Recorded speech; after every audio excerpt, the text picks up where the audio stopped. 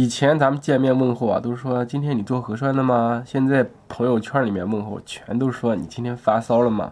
而且我粗略统计了一下，我身边感染的家庭啊，已经超过有一百多个。那上次跟大家去发微头条的时候，我们家这个病程呢也才走到第三天，今天已经是第七天了。在这四天当中啊，包括我们家呀，身边很多人感染家庭啊，这个病其实出现了很多的变化，有很多是出乎我们意料的地方。那今天就和大家一起分享一下，希望跟大家提个醒。第一个想到就是这个病的病程啊是比较长的。之前我们听专家说，五到七天这个症状。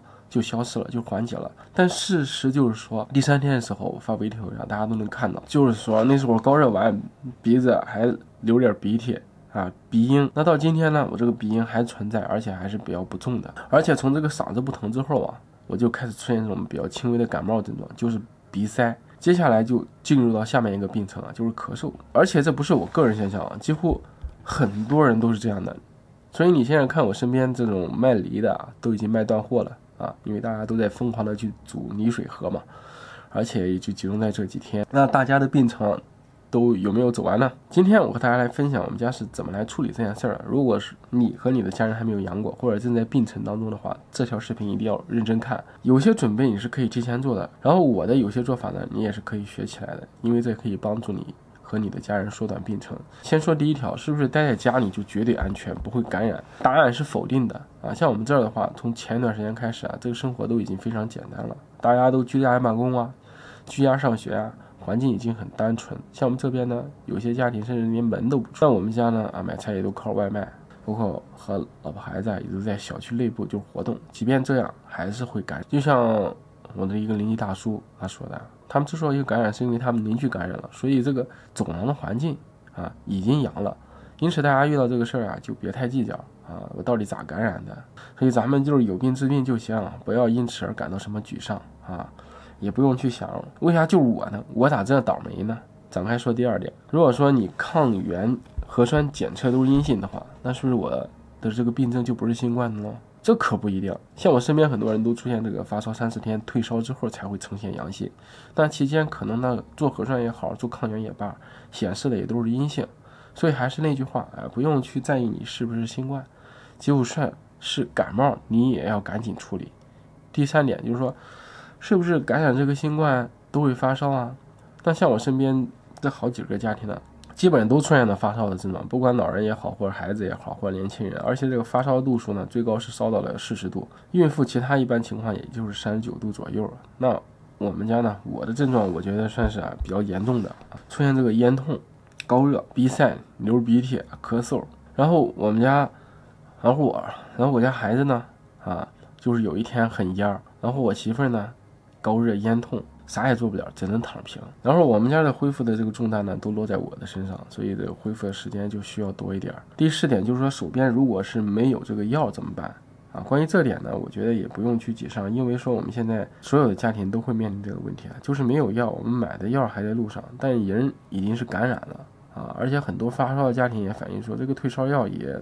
很难退烧，特别像小孩，你吃了美林之后，也就是扛四个小时，还是要重新再灌药。所以最根本的一个退烧方法还是提升免疫力啊，多喝一些好水，比如说柠檬蜂蜜水，电解质要补足，蔬菜高汤呢得喝上，保持孩子尿量啊，他们营养得吃够。像我们家的孩子呢，其实他第二天他就出现那个发烧症状，就是全身无力，精神也不太好。在他感觉快要阳之前呢，啊，我估摸着他可能啊。我采用第一个方式呢，就该喝好水。那这个时候我才不太建议去喝太多这种白水，一定要喝有营养的水。所以我就是会给他啊配一些这个柠檬蜂蜜水呀，或者煮泥水呀，啊，还有各种水能翻上啊，保持它这个尿量。这样子呢，他后面啊也就烧了一天，后续呢也少了我非常多的麻烦。第五呢啊，就是说家里有人感染了，其他人能不能躲过去？这点呢，反正就我身边所有的家庭来讲，没有躲过去的啊，全部都是全家集体感染啊。尤其像我们家，我是第一个出现症状的嘛，但我也是第一个好的嘛。第六点就是说，家里如果有老人感染了，那怎样去退热？那在我们家呢，我妈妈在这儿啊，那她发烧的过程中其实是很难受的，她那两天是没有办法下床的啊，真的是超级难受。那这个时候我就是啊，去给他，我也是把家里面存的一些个这个 B 族啊、镁啊、钾呀、啊维生素 C 啊在这个过程当中给老人合起来补起来啊，这样子呢也能帮助老人增强一下免疫力，也缩短了病程，所以大家也是可以借鉴使用一下的。接下来说的点就是说，大人和孩子到底谁恢恢复的快？我身边很多妈妈，包括呃家庭啊，都反映孩子恢复的快啊，包括发烧也是啊。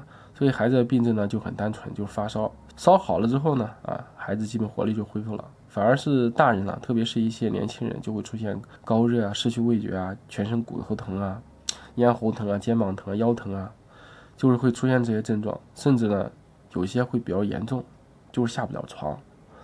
但是我觉得这其中呢，不一定真的是大人的这个病症更重，可能是因为孩子他不舒服之后，他就不怎么需要劳动。那大人呢就要照顾孩子，你比如说我，对吧？我显示出来的病程，那时候已经有三天了，是最长的。但是我晚上得照顾孩子，还得照顾孩子他妈，尤其他夜里面不断消停的时候，我一晚上要起来好几次啊，要给他喝水啊，保证他不烧起来。所以其实我是休息不好的。那白天呢，我还要给他们做饭啊。那这个时候，我觉得大人很可能呢，就是因为这个休息不好，还出现这个病症表现重一点。那最后想跟大家说的就是说，呃，我总结了一下我们身边所有的家庭之后，并不是说待在家里面真的是特别完美的一个方案。反正就是我们家的孩子天天在外面摸爬滚打啊，虽然感染之后好像这个病症啊就比较轻一点，平时平常呢也他也可能不干不净，对这病毒啊身体还是有一些免疫力的，所以呈现出来它就比较轻，这个也算是一个额外的收获。所以在冬季的话，我觉得大家还是不要因为过于害怕就不让孩子出去晒太阳，不让孩子出去运动，我觉得完全没必要。呃，真的在这个时候，还是得去靠你个人的一个抵抗力啊，免疫力啊，该活动就得活动，该晒太阳就得晒太阳。如果说真的感染，也没必要觉得紧张啊，大家都把自己分点事儿啊做好做足。那我就给孩子说啊，你就不用去练跳舞了，为啥？因为他跳舞总是会比较紧张。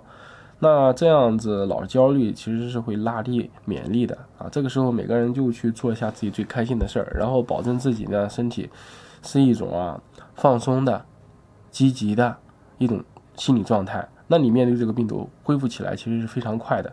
这一点呢，我觉得很多人忽视，但其实是非常重要的一点。我觉得大家一定要记得。再有一个后续工作就是说大家要做的啊，就是说感染过了，哎。千万不要掉以轻心，因为这个新冠，我身边有的人他是二十三次感染，但是这种情况很多就发生在这些个出国出差或者到外地出差这些人身上，让啊可能会接触到不同的毒株，那这不同毒株之间呢，有可能出现再次感染。因因此不管呢，你是病好了也好，还是说病好过一段时间也好，那全家呢还是要进行一个后续的一个保健。不行，那像我呢，就买了这个维生素 D 啊、维生素 C 啊、姜黄素啊。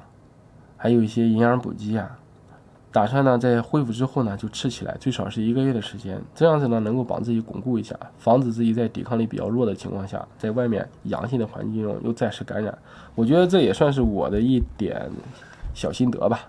那到视频的最后呢，啊，不管大家感染了还是没感染，都希望大家能提前做好心理准备和物质上的准备，也都希望大家尽早的恢复啊，一身健康。拜拜。